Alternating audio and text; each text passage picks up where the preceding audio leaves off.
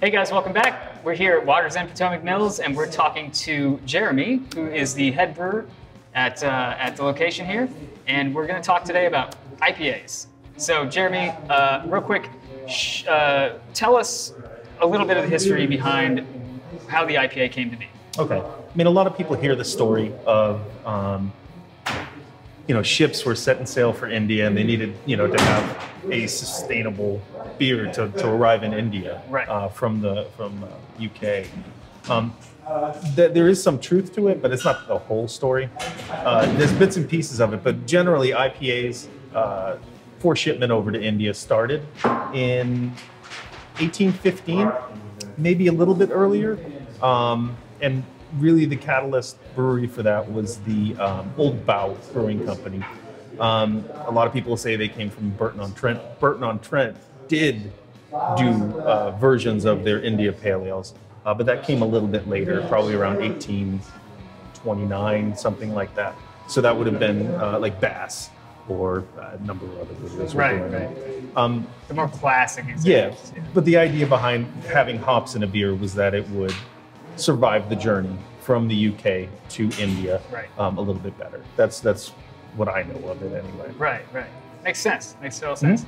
So the IPA sort of dropped out of favor uh, in popular culture anyway Sure. for a number of years. And then in the last, say, decade or 12 years or so, it's been the most popular style Mm-hmm. uh, for, for craft breweries. Why do you think that this particular style is so amazingly popular and sells so well?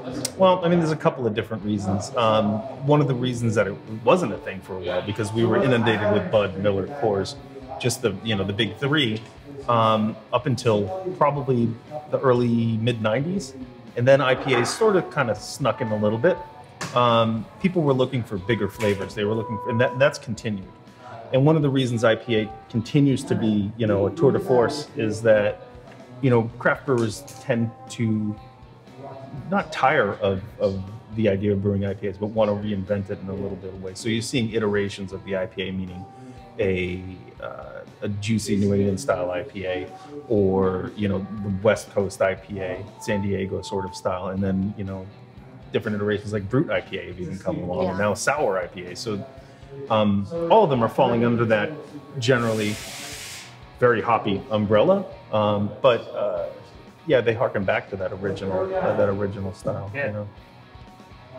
And Jeremy, how how would you say do you approach the relationship between malt and hops? what I'm trying to do with a uh, with a malt bill is to try to build something for the hops to stand with, but it's it, it acts as almost like a balance or a ballast to like an onslaught of hops. Um, if if we have too thin a beer, if you have a beer with no body, uh, it's going to taste like like hop tea. Like harsh. You know what I mean? Yeah. Yeah, it, it, will be Yeah. it'll be just too much.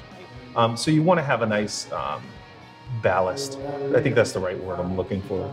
Um, yeah, to cover Yeah, that you kind know of need full to support it. So that full like sprint into a hop yard. Right, right. Um, you have to have something to like, kind of stand like to balance that up or, or to, to yeah to brace it.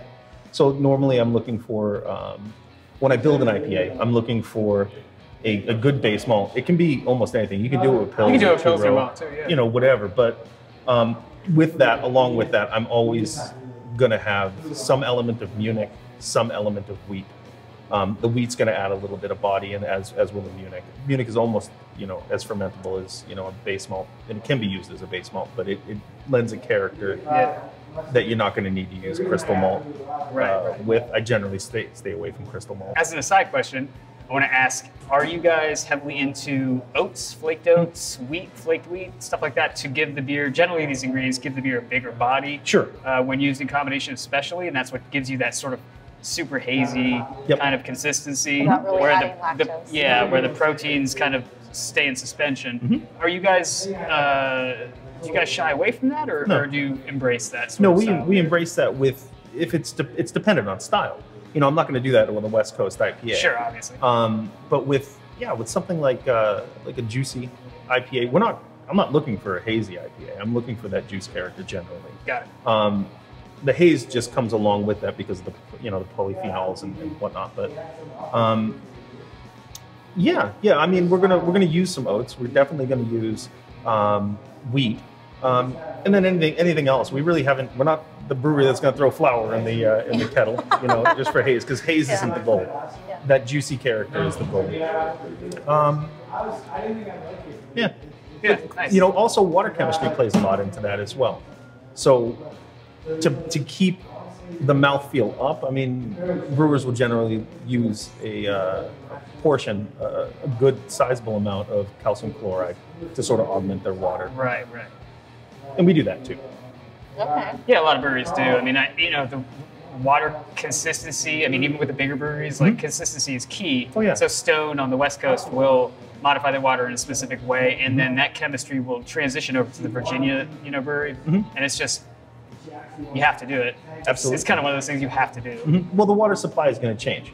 You know, Right, people right. talk about the, you know, the main You have to ingredient in beer. test it too, yeah. And the main ingredient in beer is water, first Right. and foremost. So we want to have a good water supply coming in and know what we have. Right, right. um, so that we can augment it and Burtonize it, make it like Burton on Trent's water if Yeah, we want yeah. to, or you know, like a, a, a New England style IPA Sure. is generally higher in chloride. So then, what's your take on single hop beers? We're actually drinking uh, this single hop beer. So you know, talk. Yeah, I can't pronounce the name. What I was gonna say, what's it called? Motueka. No, you nailed it. There you go. Yeah, that's fine. Motueka uh, is the only hop used in this beer. So Mm-hmm. obviously, this question was actually formulated before we even got here, not knowing that you guys made this Sure, beer. sure. but here we are. Um, it's delicious. I, I've never had a, a Motueka beer solely Right. with just Motueka. Right. Um, it's it's a unique taste. Yeah, Uh, rather bitter, but this sharp notes of grapefruit and and sort of this grassy characteristic Yeah. that is kind of underlying. Um, so first of all, what's your take on single hop beers, and do you plan on you know producing more of them? we do single hop beers. Uh, we have one on almost all the time, um, and really it's because we're trying to figure out what some of these hops are when they're you know when they're when they're released. We don't know. you know what I mean? Until we try it and brew with it, we're not really sure. True. Yeah. So, oh, thanks, bud. Wow, That'll look work. at that. Ah. I love my job. oh yeah, we're using it as a as a jumping off point to kind of figure out what these hops actually taste like, so that we can make a better beer the first time we use it in a, in a bigger batch. Got That's, it, that's the got it. idea. So in this, I was expecting to find notes of uh, like lime and lemongrass is kind of what I was looking for. Not as tropical as some of the other Yeah. New Zealand hops, but It definitely has this kind of like character of a West Coast IPA, where it's got that earthiness it's hopped. to the It's bitterness. hopped like yeah, a, it's, hopped like a West Coast IPA. It definitely is. Yeah. and then Whirlpool hop, But it's like, Whirlpool, a, like an East yeah, Coast exactly, IPA. So exactly. It's, It's, the delicious. best. It's a no really good. coast IPA. Yeah. Or Or it's both both, both coast. coast. Yeah. I don't know. Creamy coast. Yeah, I should drink that too. Boy, this is I'm It's freaking fisting. delicious. Yeah. No. Well, that's a good place to be, man. Can't are- complain on a These Friday are the afternoon, problems. right? These are the problems of being a brewer. This is what I do all day. Pretty much. Yeah. Taste stuff, and then at the end of the day, And go drink out of a horn. Yeah. All right, so now we have a viewer requested question. Jeremy, are some hops harder to come by due to the seasonal changes, or are hops available year round Just for particular beers? Yeah, we can. I mean, generally we get whatever we're whatever we're looking for. It's like how much are you willing to spend for. it. right. Um, I know in 2008 there was a horrible year for um, Centennial. In I want to say it was Yakima, but you know in other areas you can get Centennial from.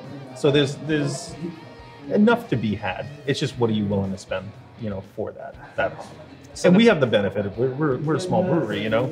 So We're the not- so the prices are uh, fluctuate. Oh, but yeah. The hop availability is just available. It's always available. in the volumes that we need, we've been able to find, you know, uh, anything that we want. I wanted to, to, I wanted a South African hop to do a single hop with Ah, um, last time around, and we found uh, Southern Passion from South Africa at a reasonable price. So, and that, you know, we learned what that hop does. It was actually pretty interesting. It had like a, um, what's it, like a bergamot. Okay. Almost like a, uh, like a tea like Yeah, quality to yeah. it. I really liked it. It was citrusy, but it had a dryness that was sort of like rem- reminiscent of bergamot. Um, but yeah, we can get pretty much whatever we want. It's just are we willing to spend thirty dollars a pound on it? right, right. Makes sense. Sometimes Most it's of the time, it. yes. Yeah, sometimes, Most of the time, it's yes. worth it. Yeah. Sometimes it's not. So there you Most go. of the time, most of the time, it's worth it. Yeah. So so between the two breweries, Yeah. you actually travel between both and brew at both. At the same time, it's amazing. That's crazy. No, no, no. I, I, I'll drive. Yeah, yeah. Okay. Yep. I thought you flew or I don't know. No, No teleportation. no, not yet. Finger snap. That was why I had the glove, That's why you keep the glove on, just in case. just in case you accidentally snap and you get teleported over here. Yeah. So, but yeah, beer moves between these two facilities all the time, constantly, and everything available here is available there All the time. So, any any one you choose, you can get the same same offerings. Oh yeah, we have the same same stuff, same stuff, and uh, um, the same very good service with a smile. You just don't know. 'cause Yeah, I see, right I see the eyes going like this. You could tell. Even in COVID days, you could see people smiling like this. You have to smile extra hard so people Or. I just do this. And it looks like I'm smiling, but I'm really You're not. scowling. Yeah. Oh my goodness. But it looks like I'm smiling, right? Yeah. It does. Yeah. Huh.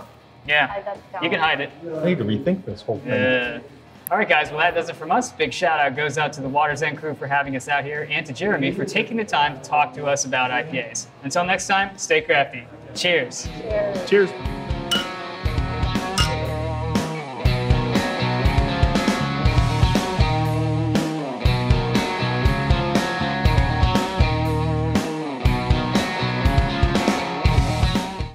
Right, guys, that does it from us. Big shout out goes to the Waters End Brewing crew for having us out here, and to Jeremy, who was amazing.